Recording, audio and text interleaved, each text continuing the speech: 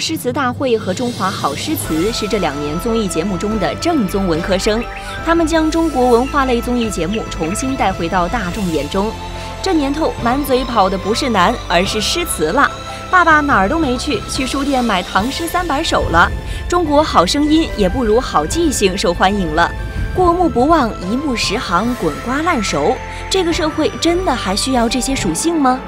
不吹不黑，咱们一起谈谈诗词大会胜利闭幕的意义吧。好，那我觉得我们也可以来一段这个，应该蛮好玩的吧？那我们就请请我们的秀秀作为我们的美丽主持人，好不好？对中国诗词大会国际版的主持人。哎，好，那好吧，我我下面就来宣布这个国际版的中国诗词大会正式开始。好。呃，首先呢，请我们的麦子选手上场啊！一旦就只能轮到我了，我太紧张了，我可以这样。好，我们请听第一题哈。好，下列选项哪一句与古代的快递员的生活有关？A. 三十功名尘与土，八千里路云和月。B. 一封朝九九重天。呃，西贬潮州路八千。C. 一骑红尘妃子笑，无人知是荔枝来。就那么三个吗？嗯，对，好，A、B、C。那我只能说，作为一个从来没有听过这三段的一个外国人，那我觉得相对你们，相对大家应该都有一个劣势吧。但是我自己来说我的答案吧，我觉得应该是 C 吧。为什么？因为呢，我觉得现在的快递员他们总是在运很多很多的东西呢。然后呢，虽然有规定说，呃，违法的毒品呐这些。能够爆炸的那些东西不应该运着，但是呢，他们总是不太知道里面到底有什么，他们就是总是在运一些 比较莫名的，都不知道是什么的一些物品了。所以呢，我觉得 C 应该是最准确的吧？对吗？王老师回答正确，回答的非常好。王老师嘉宾，古代的来捡的呀。那古代的这个快递员可能主要是呃这个快递荔枝啊之类的这种吃的东西。哎，我觉得麦子对中国的文化还是很了解的。我觉得作为一个呃新南方人，应该比较懂荔枝才对。很厉害吗？很厉害吗？那所以我们要提高这个难度啊。我们除了这个像节目当中的一种这个非常正规的一种这个考核，我们还有这个嗯非正规的考核。好，我觉得我们就还是听一点正规的这个好。呃，比如说像这个一骑红尘妃子笑，我们讲的美女，假如在现实生活当中你遇到一个美女，你怎么去赞美她呢？用西方的方式怎么去赞美？西方的方式啊，我觉得呢，嗯，太直接不行，是不是？你可以直接，然后含蓄的两两个方式吗？直接和含蓄，我觉得只要是被看出来了，就应该就够直接了。所以呢，我想想，嗯，是不是有一个天使刚刚死在这边了？因为你有一双那个一双的翅膀，嗯，怎么长到你的背上了？之类的。西方的表，西方的这样一个表述啊，东方的呢？啊，尤其是跟中国的古典诗词有关的一种表述。那 东方可能就比如说你见到美女啊，你可以说这个婉约一点、含蓄一点，说北方有佳人，绝世而独立。嗯，好，这是见到美女。比如说见到帅哥怎么表达呢？对，南方 那就更难了哈。比如说这个陌上人如玉，公子世无双。陌就是小路的意思，就是在路上遇到一个。谢谢，你是要教他泡中国妞吗？对，就是你初次见到美女的时候，然后如果是你暗恋一个人，怎么表达呢？暗恋一个人不更不表达吗？呃，像中国诗词就可以表达，比如说山有呃叫什么那个《越人歌》那个。山有木兮木有枝，对，山有木兮木有枝 啊。然后心悦君兮君不知，就是山上它是有有木有树木的，然后木树木又有枝叶的，这是众所周知的事情，是吧？对。但是呢，我心里面是喜欢你，就是这个君是指对方嘛。然后我喜欢你，但是你却不知道，这是一种暗恋的表达。哇，还是够复杂的，而且我觉得我们的秀秀已经，已经承担了不只是一个美丽主持的一个身份，还有一个老师嘉宾的一个身份了，这太忙了吧？对，但是学会了中国古典诗词，嗯，然后去这个呃表白啊，然后你暗恋一个人之后，不一定是很有效的，因为我们身边有这样一个案例，就是有一个朋友，他非常喜欢《诗经》，然后他喜欢一个女子。喜欢一个女孩，OK，他每天都发一首《诗经》里面的很美的句子发给她，嗯，大概发了呃一两个星期之后，结果对方把他给屏蔽了，不理他了，从此因为他就更加的单向的发一个是奋的去研究诗经对。嗯但是呢，假如他他找到了一个很喜欢这个的人呢，那没有这样表达出来，就错过了这个人了。所以也可以说值得尝试，对吧？值得表达。对对，只不过这次没成我。我就说他在向一个他喜欢的女孩儿表白的时候，这个办法不一定有效，但是正因为他没有效，结果 反而给了他去研究中国古典文化的一个强大的动力，这很有意思的一个现象。嗯。好，那我现在就是要呃换一个位置哈，我想考验一下你们了，给你们出个题哈 啊、就是如果李白或者杜甫能看我们现在啊、能看到的这种中国诗词大会这种节目，他们会怎么看？呃李白呢，我觉得他是一个诗酒仙嘛，嗯就是有人说他如果不做诗的话，别人就会管他叫一个酒鬼。就杜甫 他就是诗流传到现在有一千四百多首，但是有三百多首是描写酒的，而李白一千多首有二百多首是描写酒的。我想我想如果他要是参加诗词大会的话，肯定 要没是酒是不行的废话令里面肯定有酒啊。啊这个李白肯定就 是呃写呃开始啊，他们的我估计他们几天几夜都不会结束，嗯就是围绕着酒啊来做诗。哎呀，这个不错了，所以不会嗯像现在我们觉得是那么高端的一个事情，是吗？那就是民间但是我我觉得，要是李白、杜甫他们来参加这种节目的话，他们肯定拿不到冠军。OK。如果能拿到冠军的话，他们肯定写不出那么好的诗来。嗯，这往往都是这样的。呃，有创造力的人，他们在记忆方面是有他的特点的。他可能会记得一些比较梗概的大致的东西，他不会记得一些很很机械的、很具体的、很很精准的东西。我觉得可能会是这样。当然这也不一定啊，有可能也也会有这种情况，就是他记忆力特别好。嗯，呃，呃，据说王勃的那个哦哎，王勃的那个《滕王阁序》，滕王阁那个《滕王阁序》是吧？嗯，呃，不是，我们后来觉得他是个神童嘛，那个年龄很小啊，所以要写一篇写一篇文章，以滕王阁为主题来写。嗯，说他现场的一挥而就，然后现在就是名篇，是《古文观止》里面必选的一篇名篇。但是呢，据说他其实是在事先写好了，背下来了，他也知道那一天的聚会会有这样一个题目，就是要写一篇《滕王阁序》，所以他一挥而就，其实是记下来了。而且你记忆力好的时候，也有它很重要的一个作用。还有它的作用，对对对对。我觉得李白如果来记忆力不好就要，创造，嗯、我觉得李白如果来参加这个中国诗词大会的话，那肯定还有一个感悟，就是这个雾霾太严重了。哦这个雾霾严重呢，肯定就是地表不干净嘛，就污染太严重了。就比如说像这个，他曾经写过一首诗叫《望天门山》，天门中断楚江开，呃，碧水东流至此回，两岸青山相对出，呃，孤帆一片日中来。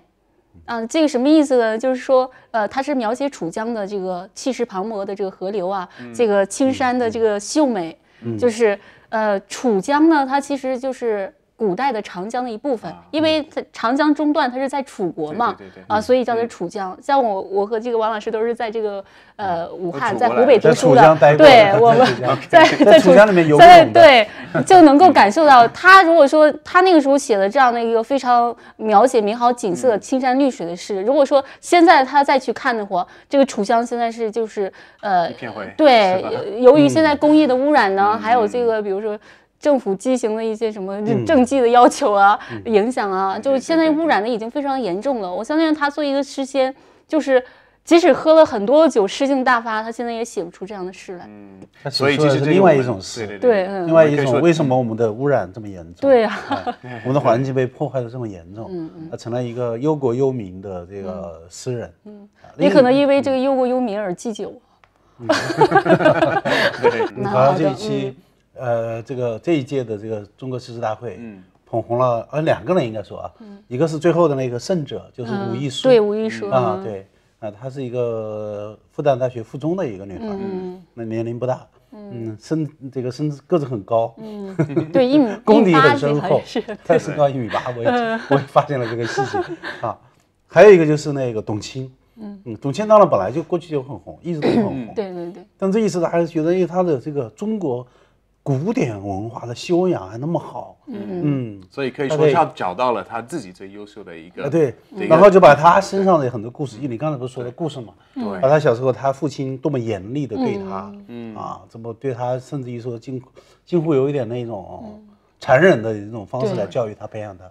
对，我发现我也发现那个故事很多了，包括很多的的呃参赛者，哎他们背有很多故事后的故事都是被挖掘出来的。我有可能是部分的选这个人是因为他有故事可以讲，哎不只是会讲诗。但是这里面呢，就是说我们看到这个狮子大会火了，它有很多正面的意义。但是我觉得在这个肯定的基础上，其实还是应该有一些建设性的这个呃改动，建设性的一些想法，就是能够让我们的节目变得更加完美。就比如说你刚才讲这个中国诗词大会它的这个评判标准啊，还有一个胜负的标准，就是它的最最终答案可能更多的还是考这个呃参赛者的这个记忆力。呃，还它这个赛制还是有一点问题的，比如说它每一场都有一个这个对决，就是胜负的对决，然后它这个就是最终的比赛和前面它是没有连贯性的，就是分数的累积是没有的啊，这样呢其实是没有有点失公平性。另外呢，就是这个题目啊，题目的设置，就有的选手很强，但是呢给的题目很简单；有的题选手很弱，但是题目又很难。所以我觉得这就是这个题目它应该设几个档次，比如说最简单的是一分，然后第二档次二分，第三个档次三分，然后由选手来去选它，这样呢就更能够突出这个选手的强弱。哎，我觉得这也是这个说的很有道理。对，这个是我希望这赛事的有一点问题。是中国诗词大会的主办方能够有机会看到我们这一期节目，嗯 然后采纳你的意见，可以向我们学习是吧？好的。还有就是你刚才说这个董卿啊，她代表央视的这个形象啊，嗯就是你们一看这个节目还是非常的这个正统的央视的娱乐节目啊对。比如说像第一期出来，这个请了外国友人，请了小朋友、残疾人呢，包括后面又请了老人呢。刚才你也讲了这种呃感人的的故事对我们的这个激励对，它就是一看就是这个非常正统的央视节目。但实际上呢，这个节目不仅仅是比如说八零后、七零后、六零后、五零后去看，其实还有这个更多的九零后、零零后，甚至是幺零后。那么这些人他是从网络环境当中长大的。那么如何将这个虚拟环境，我说我们说这个拟态环境与现实环境相结合，就是更多的这个代入感。就是这个节目当中，除了这个央视的这种风格之外，能不能更多一些这个趣味和娱乐性，然后让这个后面的这个新生代的代入感更强一点？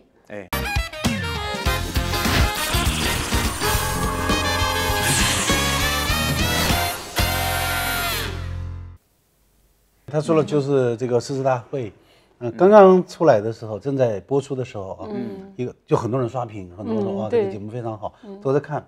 那紧接着就有很多那种评论家，他们开始写文章，写文章批评这个诗词大会。啊，其中一个很主要的观点意见就是说，诗词大会只是考一个选手的他的记忆力，嗯，他的背诵的能力，对。啊，他没有表现他的比较全面的，比如说他的一些另外的一些一些才华。啊，然后这个记忆的能力呢，在今天它不是那么重要啊。有些人还举例子说，比如说像爱因斯坦，嗯，说爱有人问爱因斯坦说，光速每秒钟多少多少公里啊？爱因斯坦说我不知道，我不知道。然后爱因斯坦反问人家说：“我我我为什么要知道？嗯因为这个光速多少公里，每秒钟多多少，传播这个距离是多少？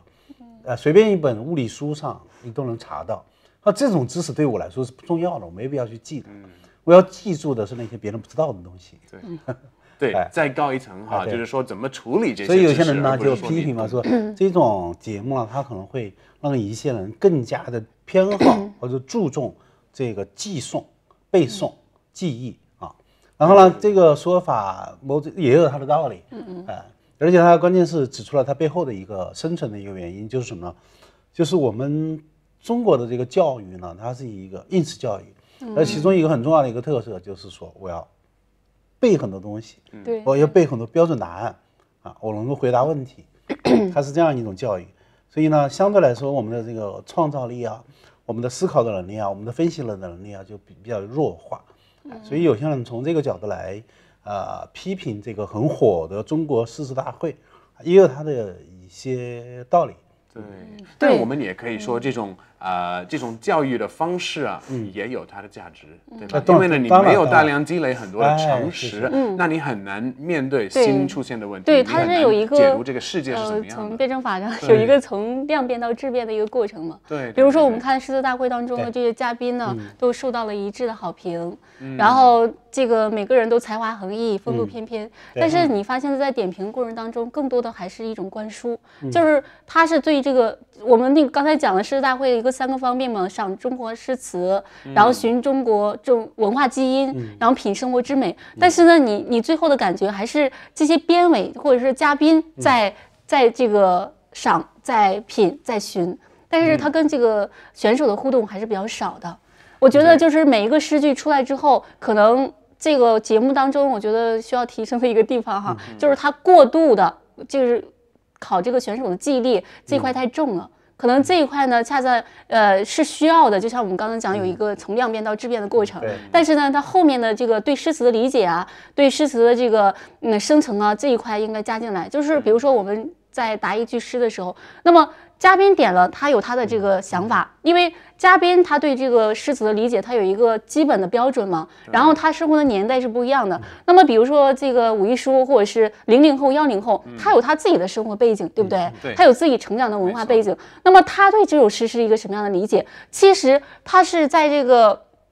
评价标准之上，或者是脱离了这个评价标准的这个理解，它是有一定的价值的，是存在价值的所以这一块对于就是不同的年龄段、不同职业的人对这个诗词的理解的不同，要在台上展示出来。我觉得这个环节还是非常重要的。哦这这个时候是共同来品共同来赏，共同来寻这个文化基因。所以这有可能是就是呃，他们是真心的想要传播这个文化，真心的想要培养更多的人来来思考这些文化的特点，然后呢，来来有自己的一些观点对。但是呢，在节在这么一个节目里面很难做到。嗯他们就是基本上就是分开比赛，这边是比赛，那边是评价，然后很难融合到一起。我觉得这个还是。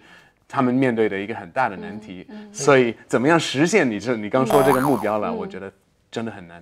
我有一个感觉就是啊，我们过去在那个，比如说我们读书会里面，我们也做过一些联会，嗯，对，然后感觉这个八零后、九零后的这一代啊，呃尤其是女生，她们背得的这个能够记住的这个中国古典诗词很多。我们曾经就是，比如说出一个字，然后你要说一句跟那个字有关的，就那一句诗里面有了一个字的这个诗词来比赛，看谁记得最多。对好好几分钟最后三个都是女生进到了最后对啊，他们可以说很多很多出来。对。呃，可见就是这一代的人，呃，这个我我觉得主要是家教，家里面要求他们来背这样一些，嗯，童子功嘛呃，童子功。我不知道秀秀小时候有没有背过？嗯，背了一点。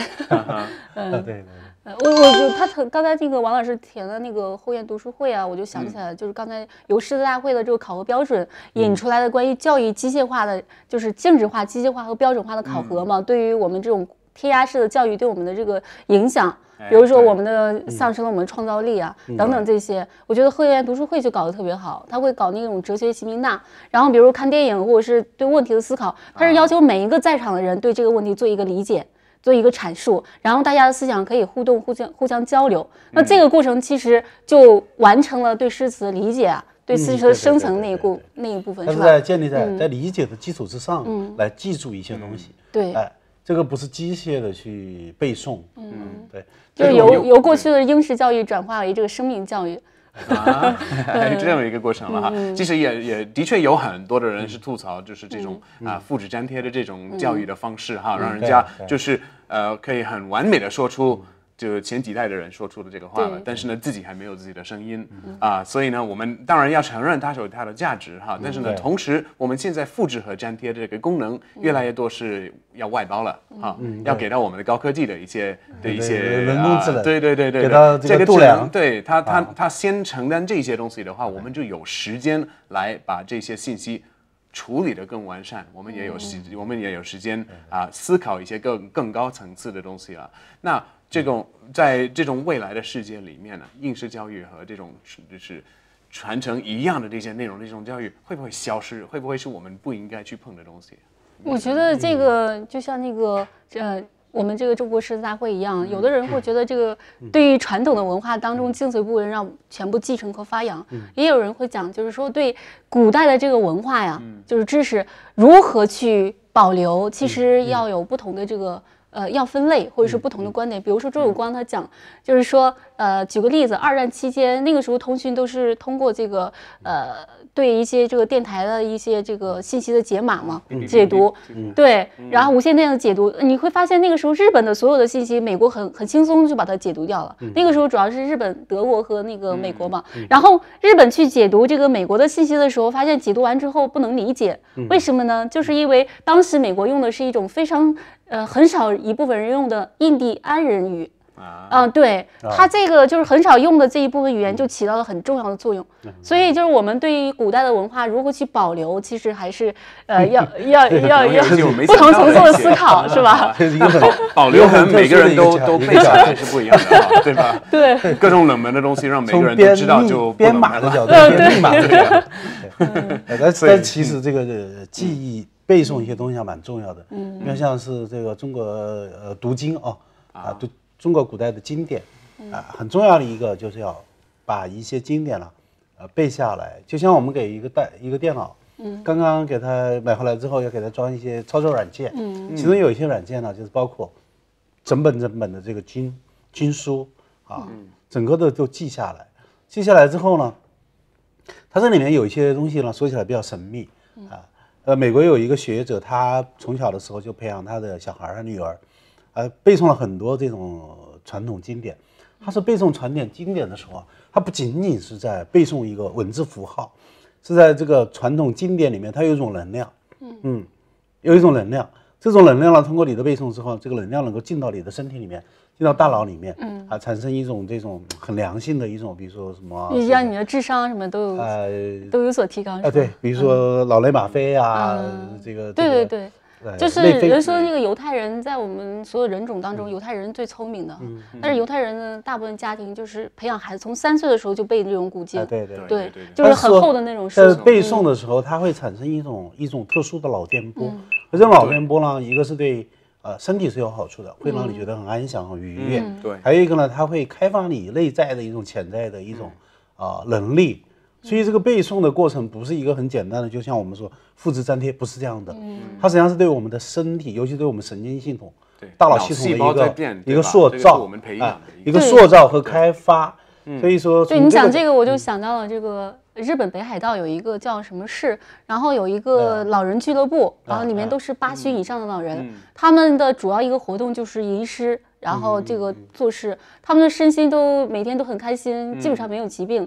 就说这个诗歌啊，就是像你讲的，对人的神经啊，对这个肺活量啊，对这个呃内分泌的血液循环啊，都是有一定帮助的。所以有的人把诗歌叫做长寿药，我觉得还是有对有一定。其实我觉得这个点也很重要了，因为呢，我们前面说的主要是知识啊，主要是人家可能会有有一个实用的一个的一个应用的一些东西了。但是呢，艺术作品是不一样的哈。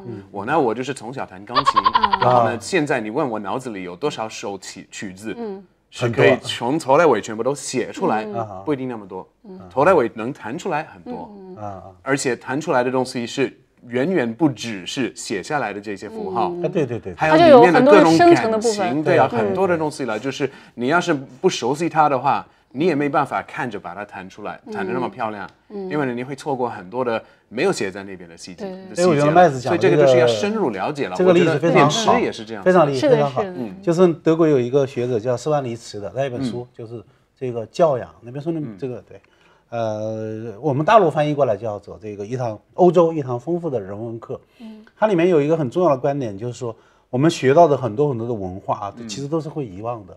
你不可能都记住的，但是那个文化背后的它的那个游戏规则，对，嗯，它的那个操作的程序，这些东西是在我们学习的过程当中被植入到我们的大脑，植入到我们身体。对，有一句话讲，就是教育的精髓是什么呢？就是恰恰是多年以后你还难以忘却的那一部分。啊。对，嗯，对对对，啊，就算你不记得，比如说那句话是怎么说的，具体怎么说的，嗯，但是你可能会用自己的一种方式来表述它，嗯，而表述那个意思是差不多是接近的。